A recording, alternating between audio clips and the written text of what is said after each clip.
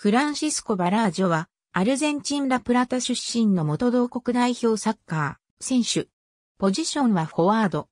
1930年、第1回ワールドカップに出場し、準優勝した。1994年には、サッカー選手として最大の栄誉の一つである FIFA 功労賞を受賞した。2008年にマルティン・パレルモに抜かれるまでボカジュニアーズの最多得点記録を保持していた。第1回ワールドカップに出場した選手で最後の存命者だった。1930年の第1回ワールドカップ後、ボカジュニアーズに移籍して1939年までプレーした。1931年、1934年、1935年の3回のリーグ優勝を経験し、1933年には34得点でリーグ得点王になった。南アメリカ全体を見渡してもトップスコアラーだった。ボカに在籍した9年間で222試合に出場して194得点し、プロ化してからのボカの最多得点者になった。アマチュア時代にプレーしていたロベルト・チェロとドミンゴ・タラスコーニの記録を超えた。1930年代にはロベルト・チェロとデルフィン・ベニテス・カセレスという共にボカで100得点を達成した名選手と強い信頼関係があった。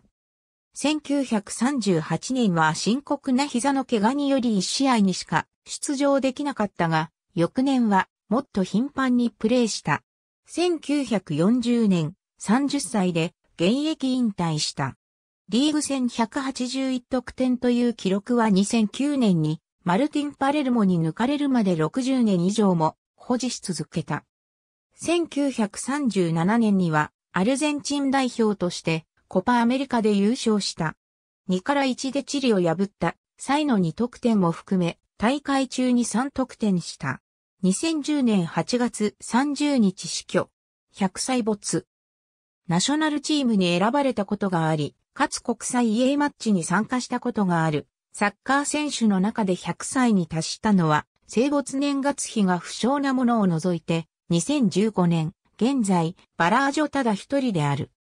ABC サッカーのバラー女子が死去第1回 W 杯に出場47ニュース同じく1930年 W 杯に参加したルイス・ソーサ・フェレーラが最初に100歳に達する可能性があったが、100歳の誕生日を7日後に控えた2008年9月29日に死去し、100歳達成はならなかった。